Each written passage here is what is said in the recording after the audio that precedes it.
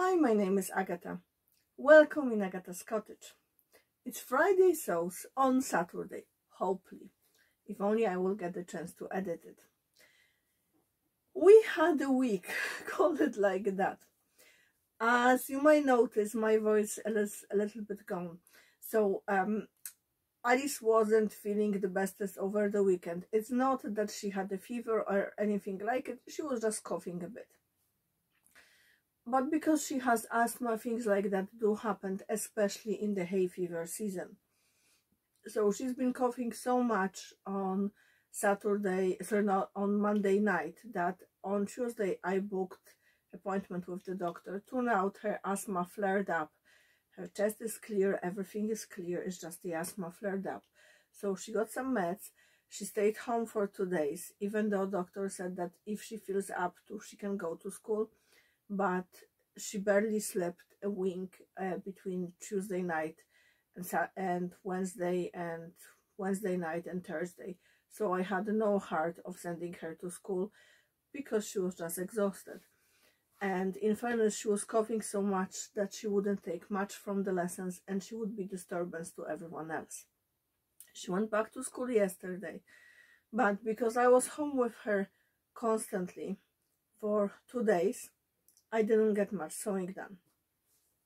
I had crazy busy weekend last weekend and then I had appointment on Monday and you know how it is.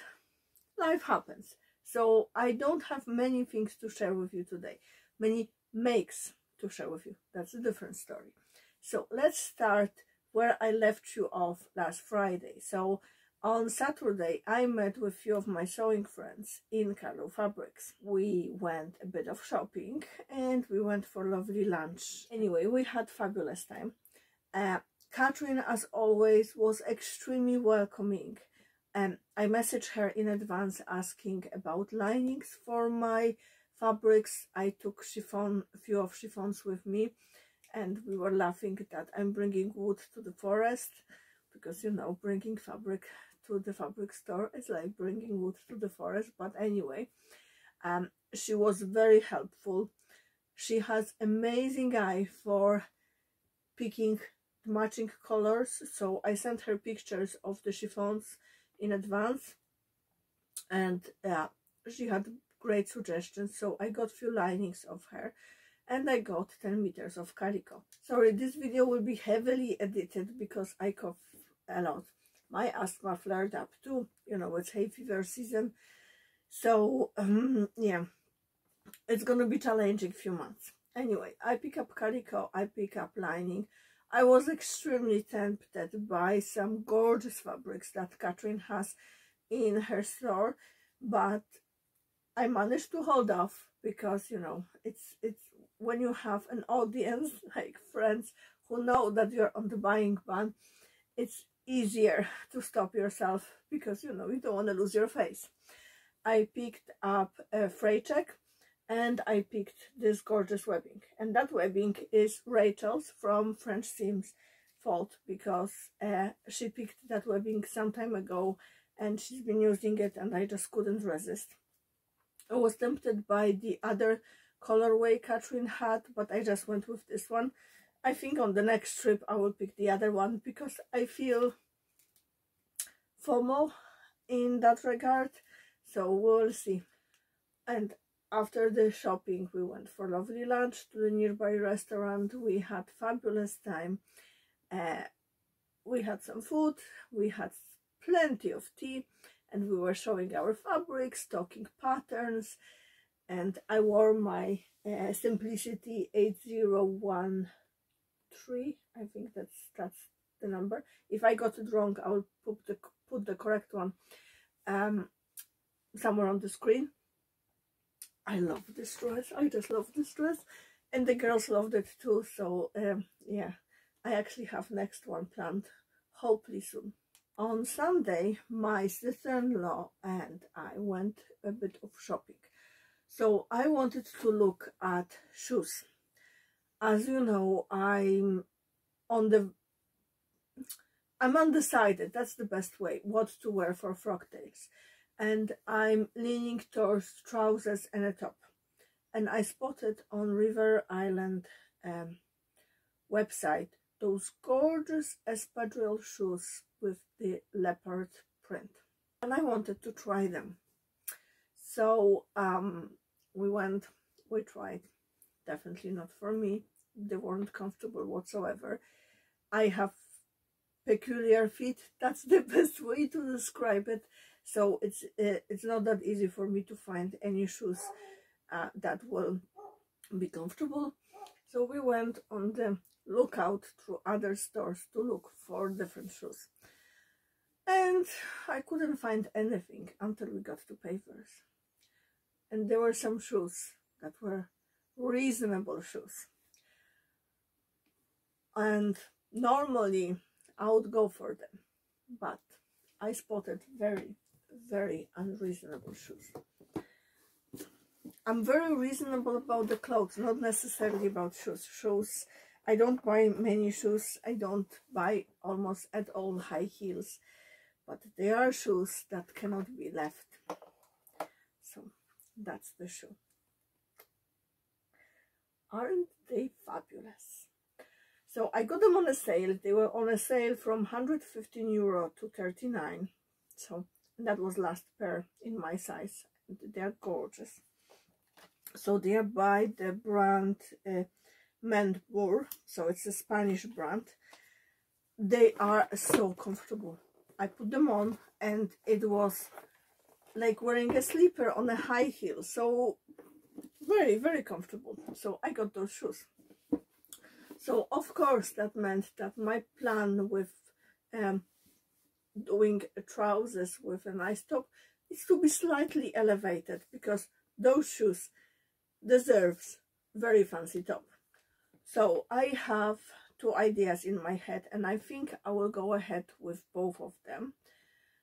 But you will see them when they are done I haven't started working on them yet because I was on the lookout for perfect bra to match the idea that I had in my head. It's extremely hard to find reasonably priced, I mean below 100 euro, bra in the size 34F that can be multi-way, so can be braless or can have a like a wrap thingy, like the strap going around and relatively low back. It's it's very hard, but I solved my problem today. You know what I did? I dig out my older bra that I wore only a handful of occasion. Oh, the, the bra had to be nude color. So I dig out my older bra and it's slightly loose, but the caps still fit. So I just hand stitched half of the centimeter on each side, like, no, maybe not half, maybe a centimeter, kind of like a little pleat on the sides. You can't feel it when you're wearing it. I tried. It's not going to be visible. And I have bra sorted, so I can start working on muslins for my both tops. So after the shoes, of course, you know, we had to go for lunch and uh, do some other things. It, it was really lovely uh, afternoon and uh, by the time I got home, I was exhausted. Uh, I had very short nap. Uh, Chris and Alice come back from day of uh, backwood training for scouts. So we all had a dinner and then I joined few of my friends on sewing Zoom. I haven't done that much during sewing Zoom. I tidy up my sewing space. I start working on finishing shirt t-shirt for Chris. So I just have neckband to finish. I did all the hems and everything. Um, I did some unpicking and some finishing touches on like mending stuff. Uh, but that's it. We mainly chatted. Uh, but I needed that. I needed that and um, I was chatting with girls about patterns and stuff and uh, as always they were extremely helpful. Um, so as I mentioned on Monday I have my appointment so I haven't done any almost any sewing. I did some cutting out on Tuesday so I cut out um, t-shirts for my sister-in-law that I promise I will make before she goes away for her holidays but unfortunately there's no chance I'm gonna make it unless I will have time this afternoon and I can drop it to her in the evening but it's very unlikely it's just life happens um, then I cut out also um, Paddington top so I put it together and I didn't realize how massive the sleeve patterns are. I was planning to make it in the cotton poplin from Beyond the Pink Door. But when I saw how big those pattern pieces are and I laid them on the fabric, I wouldn't have enough to extend the front and the back. It would be just very tight squeeze. I would have to I don't know some bind the bottom hem because it would be extremely extremely short on me. So I decided to skip that idea and I picked a throw that I bought a few months ago in Ikea. I originally bought it thinking about using it for um, tea towels. So it's like double gauze actually I will show you the color. So it's like a dusty blue teal color. So I used that. It was 150 wide by 200 meters long 200 centimeters not meters 200 centimeters long. And it has this funny um, frayed edge like this. So I cut it cut the front and the back piece the way that I can have this fray edge instead of hem. We'll see how it works. If I don't like it I will just chop it off. Um so I decided to do the Paddington top in this. I just cut it out. I haven't had a chance to do anything about it. I'm not planning to do the buttonholes I will do just little loop on the top and one small button and I will do keyhole opening because I tested doing buttonholes on the scrap and I wasn't really happy with the result. Um, when I interfaced the fabric for the but like for the button like the piece where the button placket would be uh, on the scrap of course it just it just wasn't looking the way I wanted it. Like I know this fabric wasn't intended for the clothing uh, so I don't mind if it won't be anything workable or wearable that's okay. I basically wanted to test the fit. And with leftover fabrics what I did I cut out some of the tea towels. And basically that's what I originally planned to use uh, this fabric for. I realized that I will have a lot of tea towels out of this fabric so there was no point of using it whole. And I didn't want to piece uh, keep the remnants in my stash. And because the shapes I had left over were a bit odd so it was just good that I could cut various sizes. Tea towels and when I was on the mood of cutting this out I cut out the triangle scarf uh, for Chris and I cut out the scarf uh, for him. And I just used the remnants to do a few tea towels so I have I think three finished. So I just basically overlocked the edges and do double folded hem.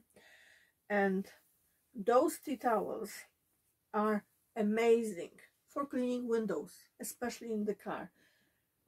They are just brilliant. They are not leaving smudges whatsoever. We love them. I already tested one of those on our car and i think the next time we are in ikea i will pick another throw if it will be on the sale and just do more of those. So in relation to makes that's all what i managed to get so next week hopefully i will finish my paddington top. I will finish t-shirt for chris finish all the towels and I will get to work on the make for collab with one of my dear sewing friends. So our video will be out on the 30th of April. So I don't have that much time but I will get it done. I have the idea I have the pattern and everything it's just a matter of getting it done. What else happened? Um, let me think. Nothing major in relation to life because last week was mainly about Alice and making sure she's getting better. My sewing time and my recording time suffers because of that, but that's the reality of life. What else I'm planning to make? I'm actually planning an upcycle. So um, last week I got a dress at River Island. It was on a sale. It's this dress. Okay. It's summer dress. There's no chance I will wear it. I wouldn't feel comfortable. It's, it's just not for me. So what I'm planning to do is remove the bodice. So basically the booby parts. Remove the um, belts. So those pieces I'm actually planning to use in a blouse that I will be making uh, for myself in the uh, broderie anglaise I got from White. I will link the video with my Sew April blouse ideas and I wasn't sure if I will have enough of fabric to do ties that are required for the pattern but I will just use those ties because they are already made and they should be sufficient length. I'm planning to use the booby part basically to make a pocket and I will unpick the side seam and just enter the pocket. And I will add wide elastic like a thicker elastic at the top. And I'm planning to dye everything fuchsia pink. So you know.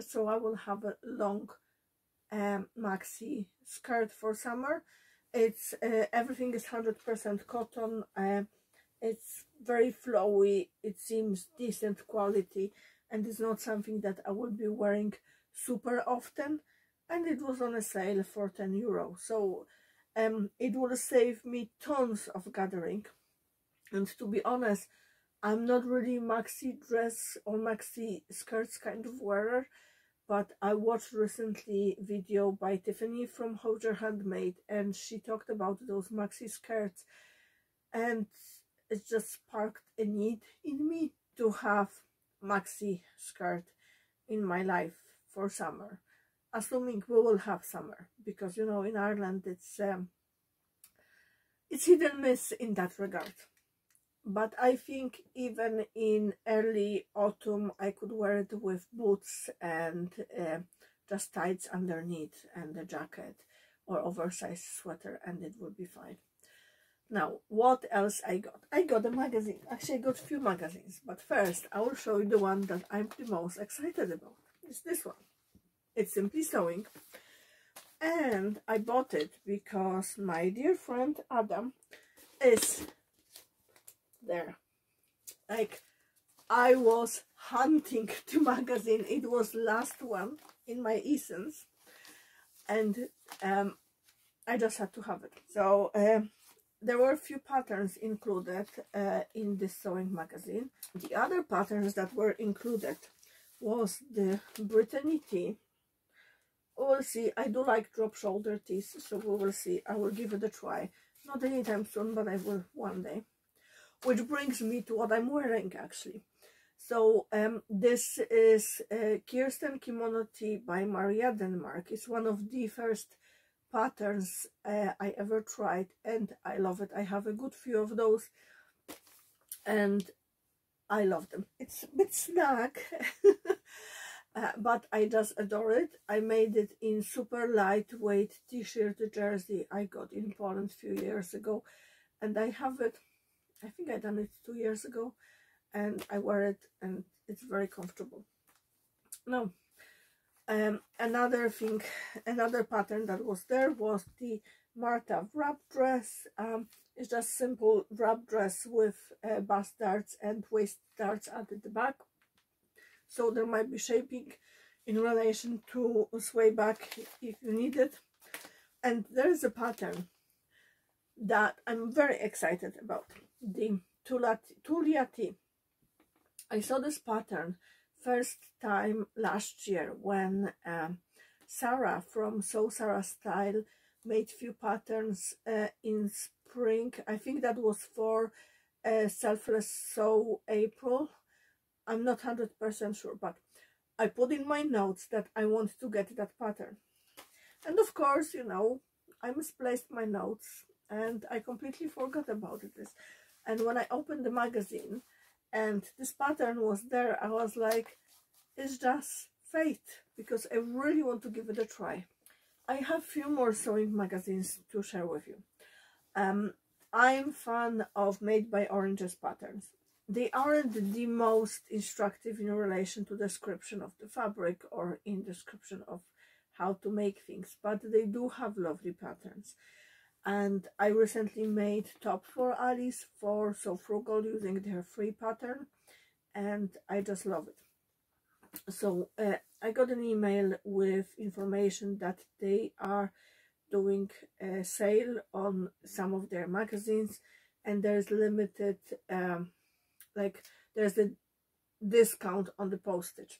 So I got five magazines including shipping I think it's from Netherlands for 19 euro which I think is brilliant so I got two of the magazines for kids so their magazine for kids is called Be Trendy and they have some gorgeous things.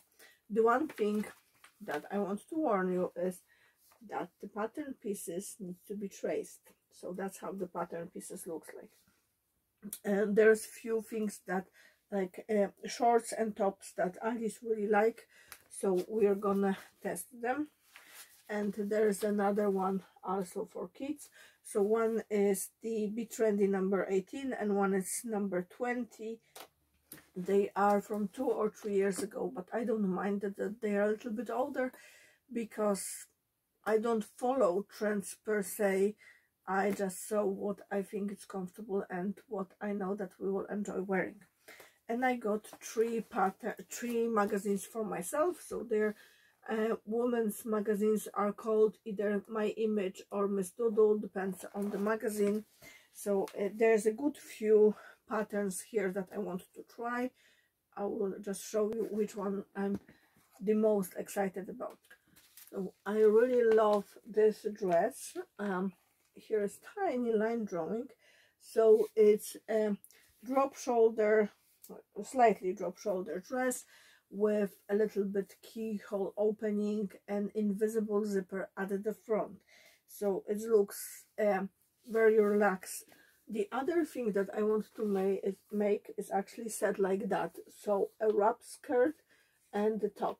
So the top has like a almost elbow length uh, sleeves and it's made in knit fabrics. And the skirt has lovely buttons here on the side. And I think it's a little bit unusual not like all the other wrap tops or sorry wrap skirts I've seen. So I'm excited to make that one and include it in my wardrobe. Don't know if I will make it for this spring or summer but I will make it eventually. I also want to make this blouse. I'm hoping I will have a chance to make it for Sew April blouse because it has very unique features and I just adore it. We'll see how it goes. And I want to make this top. Although I'm not frills or ruffles person. I really like the detail of this little ruffle at the front and I think I it's something that I would wear. I really love this set so the top and the skirt. It's for me it's perfect combination because you can wear it separately. You can wear it as a one piece and pretend it's a dress. I also want to make those trousers. Um i want to make cargo trousers for a long time. I have few patterns in my stash uh, but i haven't made them yet. So i think next few months will be towards trying find perfect cargo pants uh, pattern um, I do love wearing cargo pants. I've been wearing them for years. Even in the times when they weren't really in fashion. But they are just practical. And you know, I am practical person. And I love this top. Of course, I will extend it a little bit. I don't like when things are above my waist. But I just love the overall boho feel of that top. I almost forgot about small channel shout out. I don't do those often, but every time when I came across someone that I enjoy watching, I try to remember to share it with you. So I discovered this lady not so long ago, but I watched a good few of her videos, although I still need to comment about on, them. Uh, but she goes into details about her makes, about the changes she's doing. Uh, she talks about the challenges she had with the make, and I do enjoy her honesty and the overall style of her videos and what she's making. So I will butcher your name. I'm so sorry. So it's Terrahia from Peace and Make. I will leave link to her channel and to her Instagram down below. Have a look. She recently made gorgeous corduroy dress that is just perfection. So the question of the week is, are you a quilter? I do not consider myself a quilter. I do, I do enjoy occasional quilting. So I think that's all for today. Extremely sorry for heavy editing and the sound of my voice. I know like I sound like I've been drinking for very long time, but I don't. Um, I hope you enjoyed this video. Thank you for all the lovely comments on the previous videos. What are your sewing plans for next week? Do you enjoy quilting? I would love to hear your answers in the comments below.